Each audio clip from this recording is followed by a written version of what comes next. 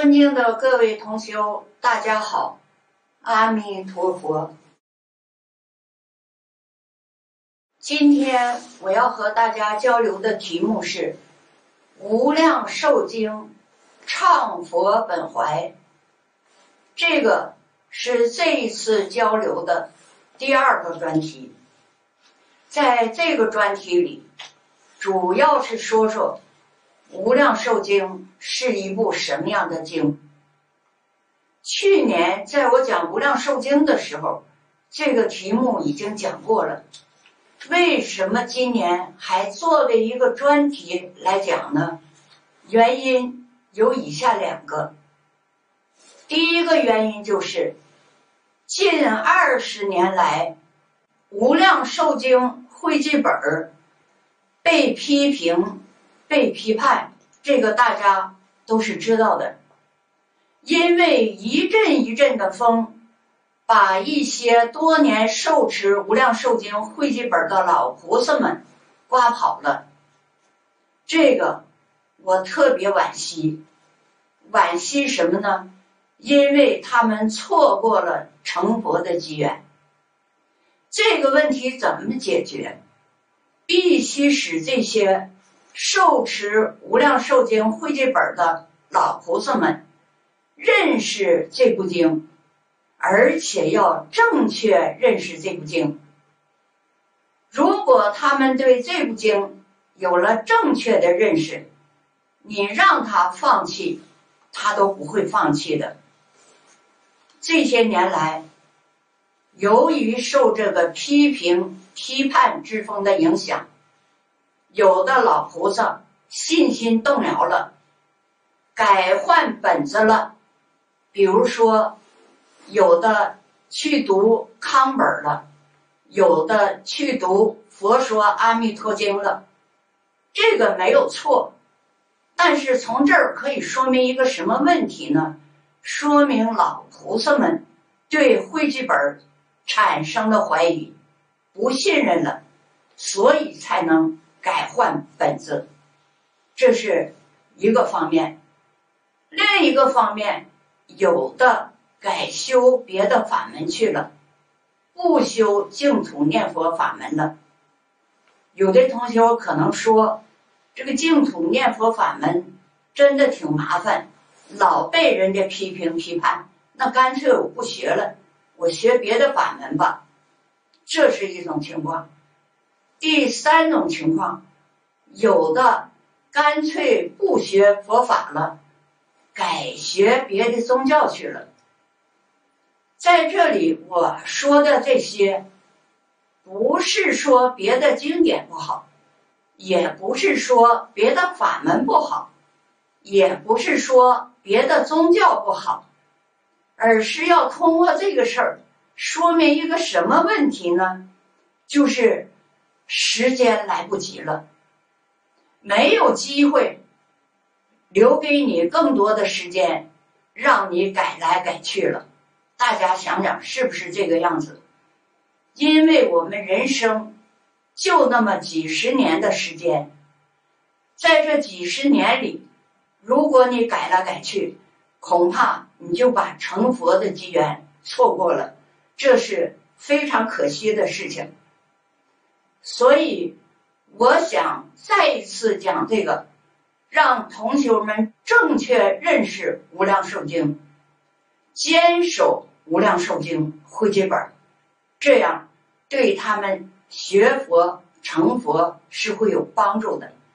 这是我这次为什么要讲这个专题的一个目的。第二点是这部《无量寿经》。它是无量义，而且是无量义中的无量义。为什么说它是无量义呢？就是说十方诸佛如来共同来说这部经，怎么说都说不尽这部经的无量义。注意，我在这里说的十方诸佛如来共同说。而不是说菩萨说，大家听明白这句话没有？十方诸佛如来共同说，都说不尽《无量寿经》的无量义，何况是我们这些生死凡夫呢？所以不但要说一次，说两次，而且我是要穷尽自己的生命，不停的说这部经，不停的去理解它的无量义。通过我自己讲，有一个什么样的体会呢？每一次讲，包括每一次写讲稿，都是一次新的认识、新的提高、新的收获。这是对我自己来说，对众生来说，帮助他们提高对《无量寿经》的认识，加强。受持这部经的信念。下面我们就言归正题，我再一次向同学们介绍《无量寿经》是一部什么样的经。为了方便同学们的理解和认识，我从十五个方面来解读《无量寿经》是一部什么样的经。用事实说话，换句话说，就是尽可能讲的接地气一些。这是我美好的愿望，我会为实现这个美好愿望而努力的。下面我们就开始说《无量寿经》是一部什么样的经。第一，《无量寿经》。是阿难尊者亲自听释迦牟尼佛以事实真相而说的一部经。这是一句概括的话，具体点说，这里面有四点内容需要我们重点把握。第一点，这部经是阿难尊者。亲自听释迦牟尼佛说的。第二点，释迦牟尼佛依事实真相所说的一部经。第三点，这部经佛是怎么说出来的呢？是阿难请法请出来的。这是因为什么？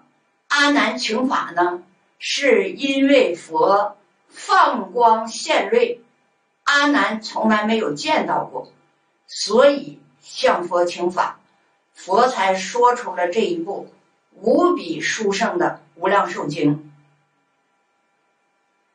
第四点内容，是不是阿难真的不知道，真的不了解是怎么回事儿？不是的。这可以说是阿难明知故问。为什么他要明知故问？他是带众生请法的，所以在这里我们要深深的感激感恩阿难尊者。如果没有阿难尊者的请法，就没有这部《无量寿经》的问世。这是第一。《无量寿经》是一部什么样的经？从第一句话总结就可以知道，是依事实真相而讲的经，而且是阿难尊者亲自听佛所说的。有四点重点内容需要把握，这是第一。下面说第二，《无量寿经》是释迦牟尼佛。四十九年里，唯一一部多次宣讲的经。这部经在佛法中的地位和作用，是任何一部经都无法取代的。这里面有三点内容需要我们重点把握。第一点，注意“唯一”一词。唯一就是只有这一个。第二点，注意“多次”一词，“多次”就是不止一次。这部经有十二种译本，但是很可惜，有七种一本失传了。可见是多次宣讲，否则不会有这么多的译本。第三点，把握这部经在整个佛法中的地位和作用是无法取代的。我们大家可以注意两个重点词，在第二，一个是。多次宣讲，一个是无法取代，呃，也可以说无可取代，就是《华严经》和《法华经》都不能取代《无量寿经》，这是第二。第三，这是释迦牟尼佛唯一一部。唱佛本怀的经，为什么这样说？因为释迦牟尼佛在三千年前第八千次在娑婆世界示现成佛，他来到这个世间干什么？就一件事儿，就是为了宣说这部《无量寿经》，而且这部《无量寿经》。是唯一一部唱佛本怀的经。什么叫唱佛本怀？唱就是舒畅、顺畅、畅快、畅所欲言，就是把心里话痛痛快快的、毫不保留的说出来。《无量寿经》是释迦牟尼佛。多生多劫，想为众生说的经，但是因为众生的机缘不成熟，他不能宣讲。今天众生的机缘成熟了，佛终于可以淋漓尽致的把这部大经宣讲了。如来所以兴出世，为说弥陀本愿海。所以说，这是唯一一部唱佛本怀的经。简单的概括就是，是唯一一部唱佛本怀的经。这个唯一告诉我们什么？还有没有第二个是唱佛本怀的经？没有。这是第三、第四这部经。是释迦牟尼佛四十九年所说一切经中的唯一正说。这一点，可能我要多说几句，因为什么呢？去年我讲《无量寿经》的时候，说到过这个问题，就是唯一正说的问题。有些同学不理解。可能有人也提出了批评意见，所以今天我还要再一次的说，把它作为一个重要内容来跟大家讲，《无量寿经》是释迦牟尼佛四十九年所说一切经中的唯一正说。佛说法有真实说，有方便说。什么叫真实说？什么叫方便说？就是我们平时所说的真谛和俗谛。真谛就是说真实语，俗谛就是方便说。真实说和方便说都是随顺众生不同根性而说的。用我们的话来说。就是跟什么人说什么话，跟上根的人说上根的话，跟下根的人说下根的话。这里所说的真实说，就是宇宙人生的真相，这部《无量寿经》说的完全是宇宙人生的真相，是佛所说的正说、真实说，而且是唯一的正说，也就是佛的真实说，其余皆是细论，是方便说。我去年也讲了细论，也是大家不理解的。今年咱们再一次说，因为对于上面这一个理念，有的同修不理解，不太容易接受。可能大家说，佛说了这么多经，怎么就这一部经是正说呢？对于这个疑问。我也曾经有过，但经过二十年的听经闻法，我的疑问消除了。我在这里告诉大家，事实真相，确实真的是这样的。怎么办？现在暂时不理解，让我们在修学的过程中渐渐体悟吧。但是，我在这里劝告大家，切记一点，就是在你没有弄明白之前，千万别忘法。下面我想跟大家说说，听听我们的祖师大德是怎么说对这个问题。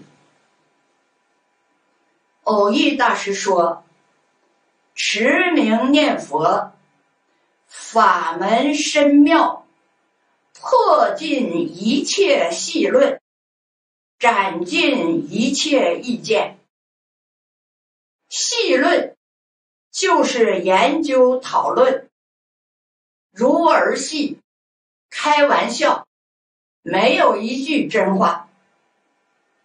念佛念到心地清净，即超越一切法门。你可以说，佛四十九年说法，均属细论。这是偶益大师说的一段话。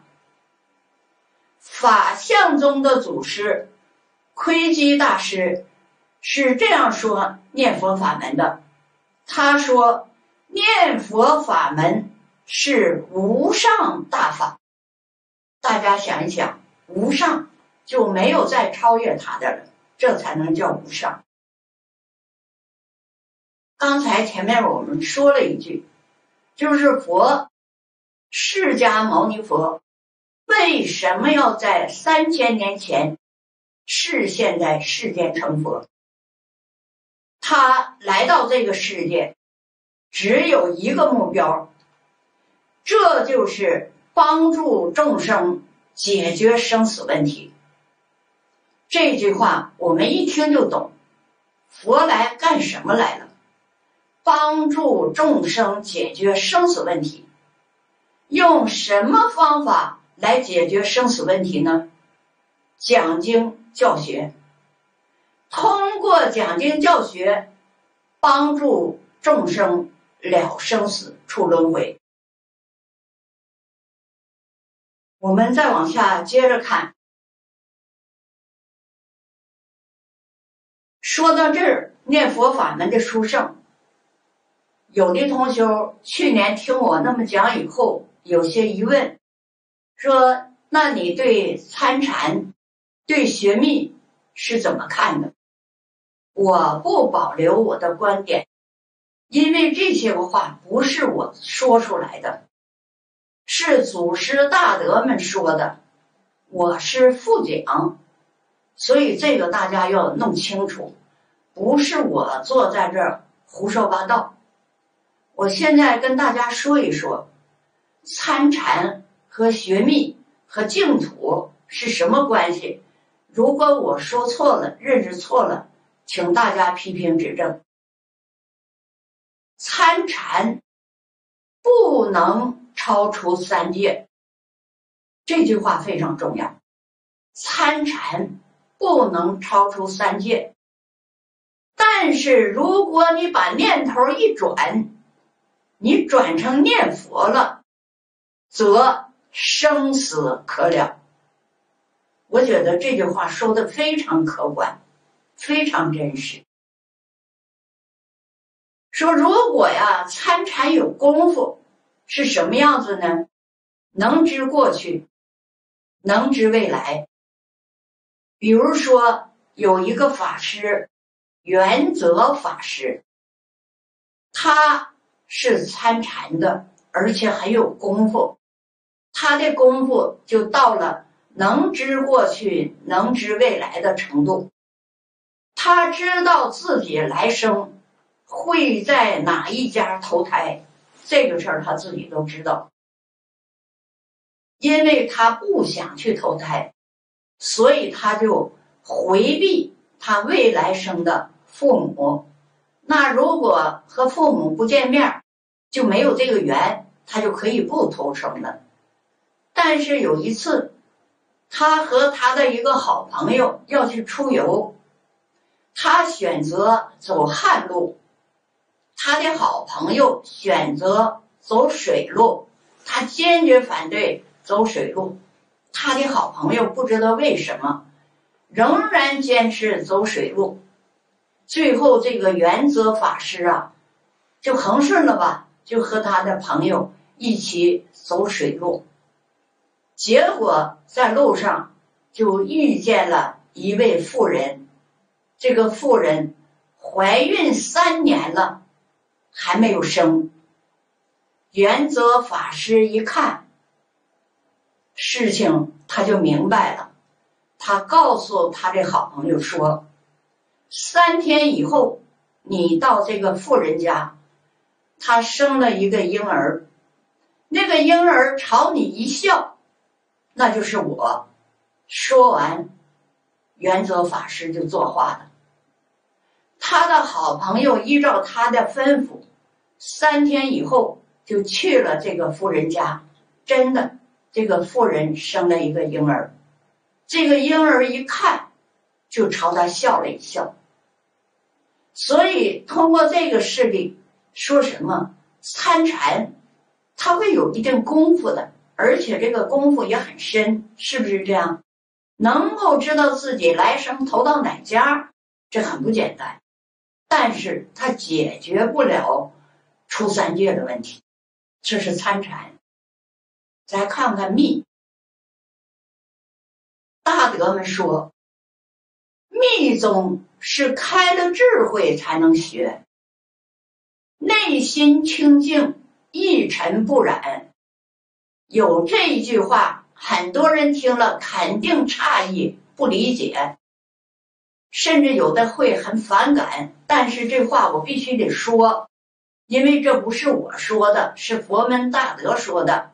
说什么呢？说普通人学密一定堕地狱，普通人学密一定堕地狱。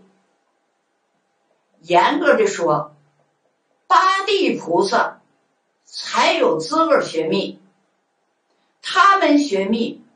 是正科生，原教初住菩萨可以旁听，是旁听生，没有学记。这么说是不是大家能听得懂？八地菩萨学密是正科生，原教初住菩萨可以当旁听生。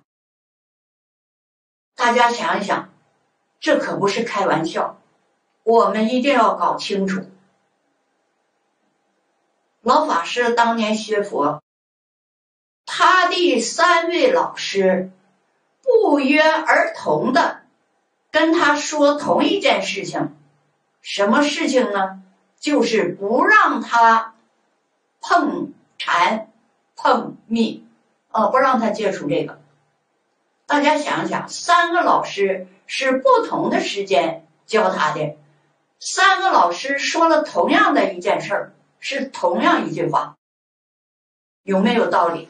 我们仔细揣摩揣摩，为什么三个老师都让老法师不要碰密，不要碰禅？他可是老师对学生说的呀。因为什么这样说？老师了解学生的根基，三位老师都认定老法师不是学禅学密的料，他的根基不在这儿。这是老师对学生的负责任，我们应该感恩三位老师。比如说张家大师，他是密宗的金刚上师，但是他没有给老法师传密。虽然他没传他密法，但是关于密宗的内容，他给老法师谈了很多。他告诉老法师，密是最高的佛法，也是最殊胜的佛法。大家看，张家大师告诉老法师，密是最高的佛法，也是最殊胜的佛法。为什么不让老法师学？就是老法师的根基不在密。这是老法师碰到了一个负责任的好老师。六祖坛经，我们有很多同学读过，听没听懂？读没读懂？六祖坛经是度上上根人的，上上根人两个上啊，不是度上根人的。六祖坛经是专度上上根人的，上中根以下人无份儿。这回听明白没有？我说的特别直接直白。你想想，你是不是上上根人？如果你不是上上根人，我劝你不要选修这个。十方诸佛如来都帮助阿弥陀佛，为什么？因为西方极乐世界是一所大学，阿弥陀佛是校长，十方诸佛如来成就弥陀大愿，在十方世界为阿弥陀佛这所佛教大学招生，他们把最优秀的学生送到西方极乐世界去求学，去深造。因为阿弥陀佛与诸佛如来是一个共同的目标，什么目标？希望众生人人成佛。我们用一句话概括一下我上面所说的：千经万论乃是全说，到最后都归到西方净土。再往下看，为什么《无量寿经》所列上首第一位是乔陈如尊者？因为他是世尊第一位开悟的弟子，他列上首第一位，要告诉我们什么？告诉我们，这是代表这一部经。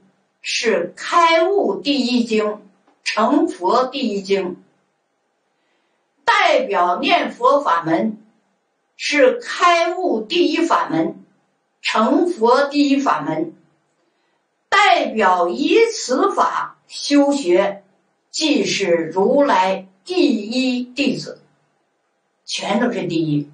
这回听没听明白？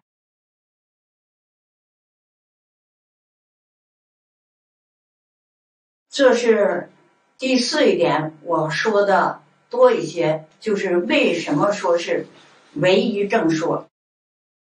下面说第五点，《无量寿经》是佛法里的第一经，千经万论，三藏十二部是百川，《无量寿经》是大海。百川归大海，大海纳百川。这个在去年讲经的时候，我也告诉大家了，就是百川和大海是什么关系？你要知道，无量寿经是大海，三藏十二部是百川，一定是百川归大海。这是用比较浅显的、易懂的。比喻的手法来说的，为我们说明了千经万论、三藏十二部与无量寿经的关系。这个关系是什么？我刚才说了，是百川与大海的关系。告诉我们，大海是百川的最终归宿，以此凸显。无量寿经是佛法里的第一经。下面说第六，无量寿经是一乘经典，是大乘里的大乘，一乘里的一乘。对于这一条，我们从以下几个方面来认识：一。什么是一乘经典？一乘就是佛乘，能成佛的经典就是一乘经典。二，一乘经典有哪几部？一共三部：《华严经》、《法华经》、《梵王经》。严格的说。中国的一乘经只有两部，那就是《华严经》和《法华经》。梵王经一共是六十多品，传到中国的只有其中的一品《菩萨戒经》。三，《华严经》、《无量寿经》、《佛说阿弥陀经》是一部经，《无量寿经》。是中本华严，《佛说阿弥陀经》是小本华严，《华严经》是一乘经典。那你说《无量寿经》是不是一乘经典？当然是了。《华严经》和《无量寿经》相比，《无量寿经》第一，《无量寿经》自然是一乘中的一乘了。第七，《无量寿经》是净宗第一经，是释迦牟尼佛四十九年所说的一切经中的第一经，是十方一切诸佛如来共同赞叹、共同宣扬、共同护念的第一经。大家知道净宗的经典不多，一共就是五经一论：《无量寿经》、《观无量寿佛经》、《佛说阿弥陀经》、《大佛顶首楞严经》、《大势至菩萨念佛圆通章》、《普贤菩萨行愿品》、《往生论》，这是五经一论。在这五经一论里，《无量寿经》是第一经。在这一条里，我们要特别注意有三个共同，那就是共同赞叹、共同宣扬、共同护念。这三个共同是说谁？说的是十方诸佛如来，不是说的菩萨。下面第八是三个真实集于易经的稀有难逢的一部经典，真实之际，讲宇宙人生的真相，这是佛的正说，是佛的真实说，真实智慧，开启众生真实智慧，帮助众生破迷开悟，离苦得乐，真实之力，给众生最真实的利益。这个真实利益是什么？就是把《无量寿经》和念佛法门介绍给一切有缘众生，帮助众生超越六道轮回，超越十法界，回归常寂光。这是无与伦比的真实利益。这三个真实是《无量寿经》的核心。这三个真实在其他经典里很少出现，三个真实同时出现在一部经典里，《无量寿经》是仅有的一部，没有第二部。这三个真实是我们的自性三宝，佛有，我们也有，佛是完全开显的。我们是完全迷惑了。我们跟佛不一样的地方就在这里，显露出来之后，就是全体的得用。我们讲皈依，真正皈依的依据就是这三个真实。这三个真实就是佛法僧，就是西方三圣。是一切诸佛法藏，是我们的自性，这是真实到了极处，能够帮助众生解决生死问题。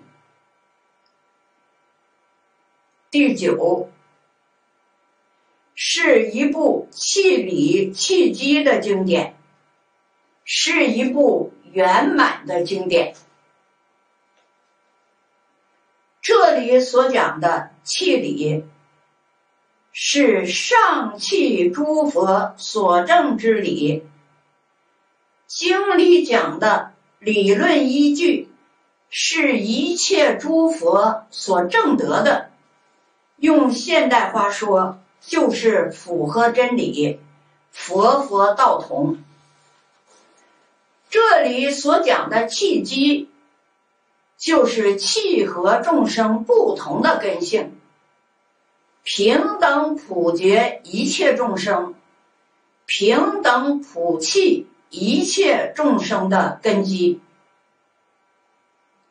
通俗点说，就是这部经的教学符合我们眼前的需要，学了就能用上，用了就能见效。能够马上得到利益，所以这部经可以称之为契经。我自己就是一个真实的实例。二零零零年，我随时面临死亡。十九年后的今天，我活得如此自在快乐。我是无量寿经最真实的受益者。现在有这样的一个问题，就是我们现在是生死凡夫，我们不能亲证，还没有到那个水平，到那个境界。但是佛亲证了，你相不相信佛的亲证？如果是你自己又不能亲证，你又不相信佛所亲证的东西。那就糟了，因为什么呢？佛说的你不信呢，你自己还没看着真的，这就麻烦了。怎么样对待这个问题是正确的？就是我们要努力去亲证，但当你没亲证之前，你要相信佛所说的一切没有妄语，都是真实话。如果你信佛所说的，按佛所说的去办，那你照样能得到成就。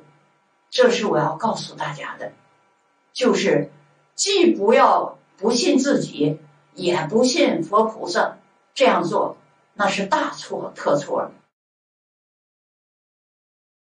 第十是梁土导师释迦牟尼佛和阿弥陀佛共同说的一部经，这部经重点。度再加重的这部经是良土导师专门为众生成佛积熟人而说的一部经。这一条里含三层意思，前两层意思在第一次复讲时都设计过了，意思也很好懂。我在这里就不再重复说了，我想重点说说第三层意思。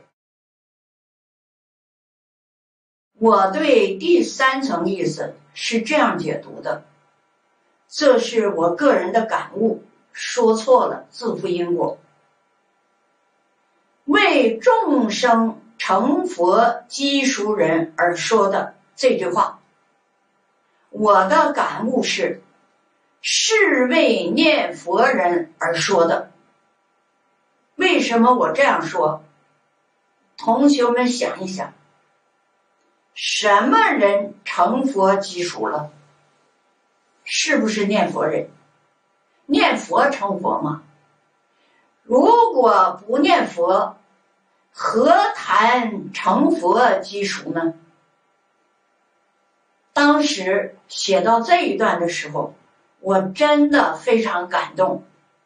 如果我说我泪如泉涌，我不知道大家能不能相信。我当时心里激动的，我说：“佛呀，佛呀，你怎么如此智慧？你怎么如此慈悲？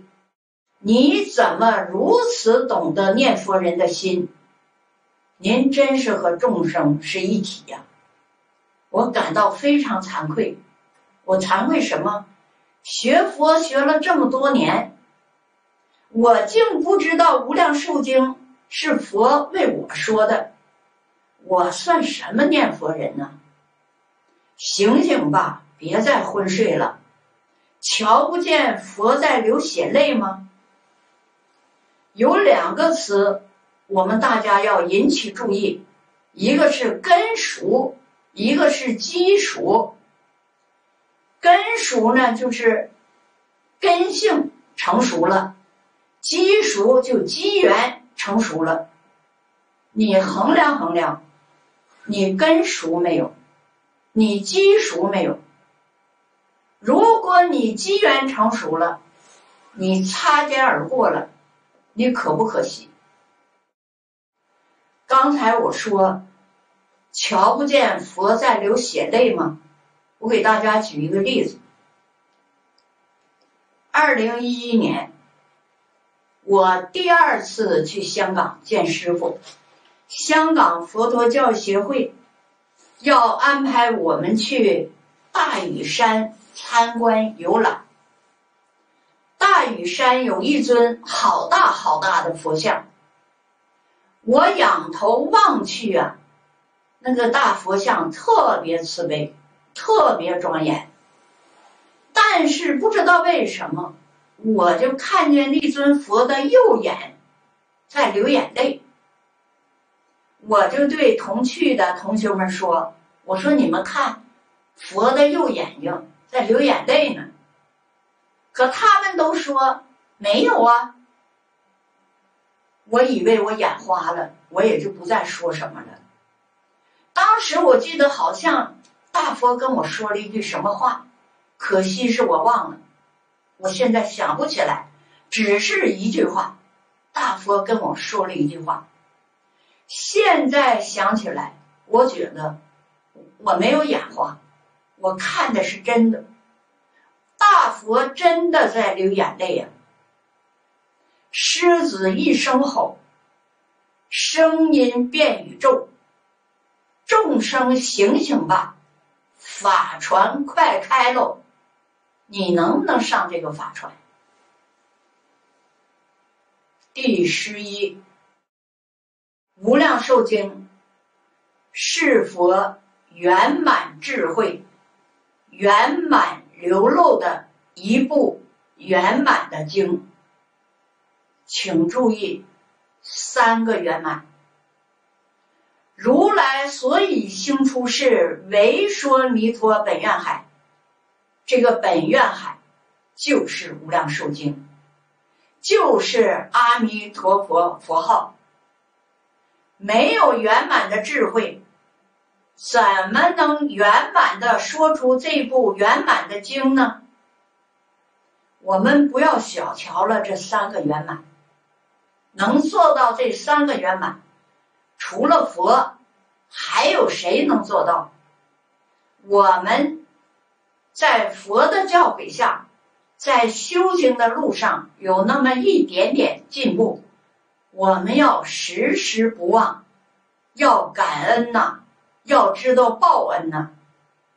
不是你自己有什么本事，有什么能力，是佛力的加持，使你才有了这么一点点的进步。前两天我说过这样一段话，这段话也不是我说的。圣人就是圣人，佛就是佛，菩萨就是菩萨。我们对于他们用经上的一句话叫做不可思议，不能想象，也不要去探讨。入了那个境界，一切都明了了。不入他的境界，怎么说都只能说个仿佛，没有办法说的那样贴切。现在我为什么又把这段话拿出来，再一次跟大家说？就是说，我们要正确认识佛。正确认识菩萨，正确认识阿罗汉，正确认识我们自己。你把这个事儿弄明白了，你会少犯很多罪业。为什么？你对佛不认识，对菩萨不认识，对阿罗汉不认识，你把自己想的比佛还高。比菩萨还高，比阿罗汉还高，你怎么能有成就？现在我觉得有的学佛人真的不自量力，不知道自己是半斤还是八两。一定要克服这个缺点，一定要谦虚，一定要谨慎。你自己就是一个凡夫，比如说我，不管你们怎么尊敬我。哎，怎么爱我，怎么鼓励我，我的心是定的。我不会因为有人赞叹我，我飘飘然；我也不会因为有人骂我、诽谤我、攻击我而灰心失意，都不会的。我们学佛学了将近二十年，如果心还定不下来，那你这佛是白学了。所以我在这一段话里，就是要告诉大家一个事实：要正确对待自己，正确对待别人，不要拿你自己的主观意识去衡量别人，把别人说成如何如何如何如何，那是你的见解。你成阿罗汉了吗？如果你修到了阿罗汉的果位，你可以说你的见解是对的。如果你没有到阿罗汉的果位，昨天我讲了，即使你修到了三果，那都不行，都不能说这样的话，你的见解仍然是错误的。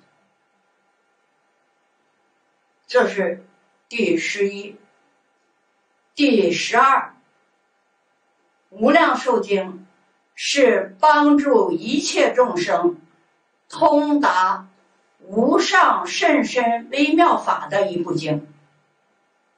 首先，我们要认识无上甚深微妙法是什么？这个我们已经念了多少年了，都滚瓜烂熟了。但是真正的含义我们知道吗？什么是无上甚深微妙法呢？就是《无量寿经》，多么简单！这个答案，今天你听到了，以后不要忘了。《无量寿经》就是无上甚深微妙法，就是阿弥陀佛佛号。那我们怎么样通达无上甚深微妙法呢？没有别的路，就是读《无量寿经》，念阿弥陀佛。第十三，《无量寿经》。是一部既究竟又方便的经。我们先看一看什么叫究竟。一生成佛了生死出轮回，这样的经就是究竟。那什么是方便呢？容易懂，容易学，容易成就，三个容易。多简单，多好记。同时具备既究竟又方便这两个条件的，只有一部《无量寿经》，没有第二部。那有同学问呢，《华严》和《法华》呢？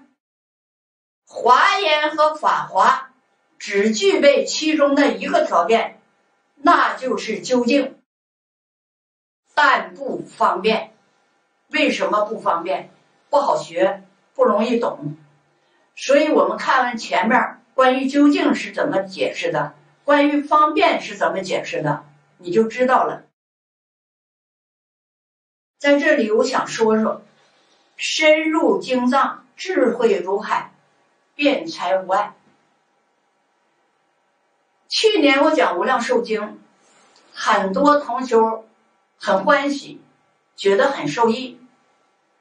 我的一个老同学给我打电话说：“素云呐，我原来只把你当成我的一个老同学，现在我对你得仰望了。”我就笑了，我说：“你干嘛要仰望啊？”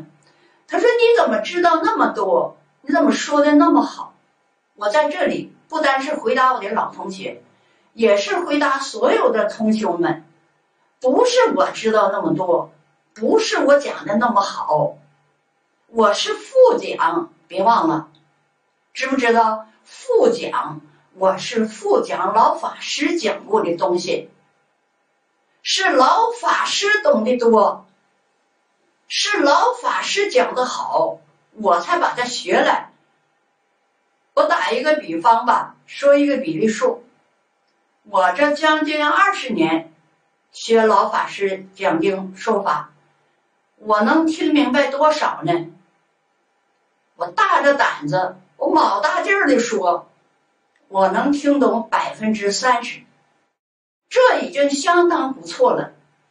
我现在的努力目标，我跟有的同学说，我说如果我能听懂百分之五十，我就满愿了。我现在只能听懂了百分之三十。我跟大家学出来的还不能把这百分之三十都原原本本的学给你们，有的还漏了，啊，是这样的。所以今天我在这里说这个，为什么我要说深入经藏，智慧如海，辩才无碍？因为这近二十年的听经闻法，我之所以能把老法师说的东西能给大家学说出来一部分。就是因为我深入经藏了，我这些年听经读经，我没白听，我没白读，我明白了百分之三十。如果我不深入经藏，没有我的今天。下面说智慧如海，我承认现在我的智慧比以前多了。前段时间我跟大家说，我说过去呀，要遇到一个什么事儿。我得琢磨琢磨这事儿怎么办。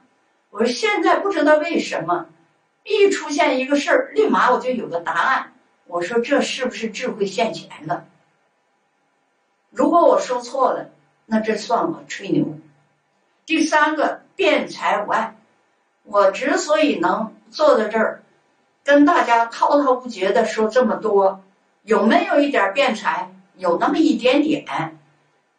另外，我告诉大家，这三个它是按顺序来的：一深入经藏，二智慧如海，三辩才无碍。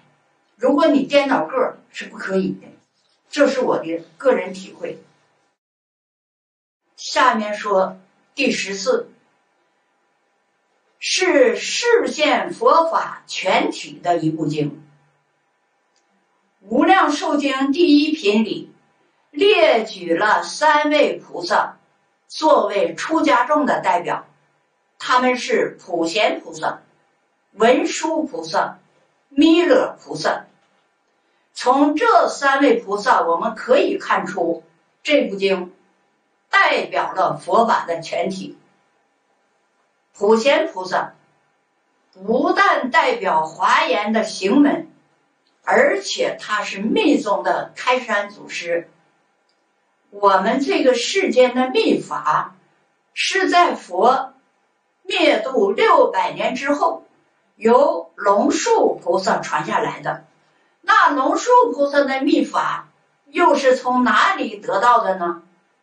是龙树菩萨开铁塔，遇到了金刚萨埵菩萨，是金刚萨埵菩萨把秘法传给了龙树菩萨。这位金刚萨埵菩萨是谁呢？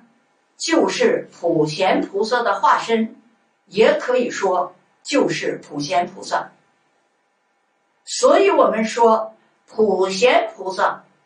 不但代表华严宗，也代表密宗。由此可知，华严乃是密宗的显说，显密不二。华严奥藏、法华密随，都在这一部《无量寿经》里。阿弥陀佛是无上密咒，是密法的总纲。是密中之密。普贤菩萨在《无量寿经》里代表静密不二，文殊菩萨在《无量寿经》里代表禅静不二，禅就是静，静就是禅。一句阿弥陀佛，禅静密都包括在其中了。弥勒菩萨代表当来乘船，五十六亿七千万年以后，在世间示现成佛，成为贤劫中的第五尊佛。弥勒菩萨成佛之后，弘扬和守护的仍然是这部《无量寿经》。《无量寿经》不但是显示佛法全体的一部经。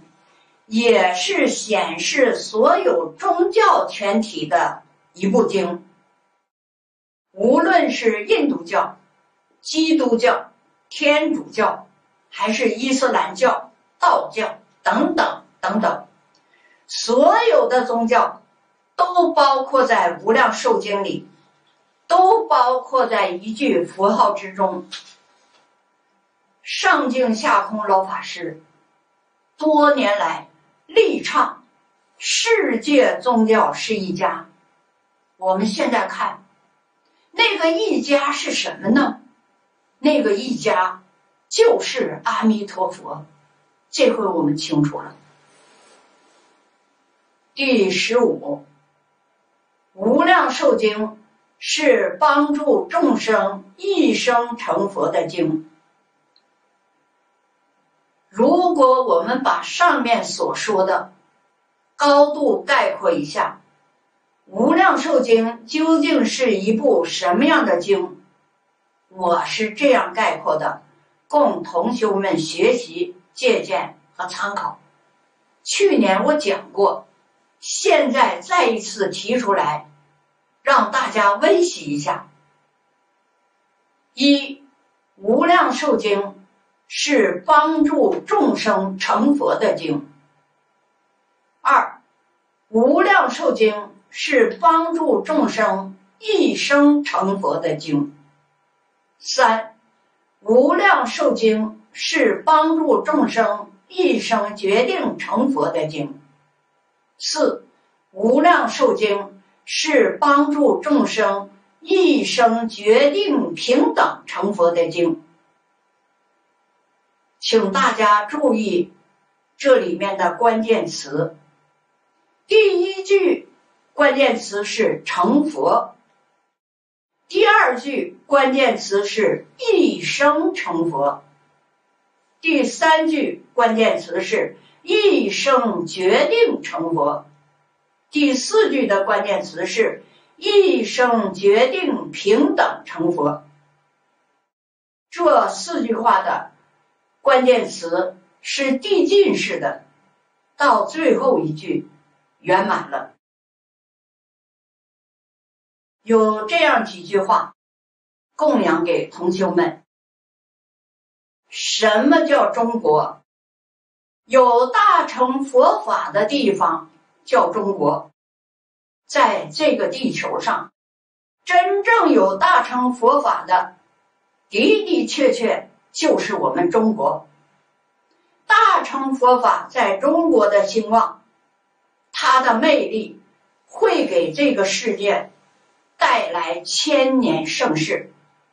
我们任重而道远，让我们奋力前行吧。我们要把这部唱佛本怀的《无量寿经》承接过来，传递下去，这是我们四众弟子的光荣使命。这节课就讲到这里，感恩大家，阿弥陀佛。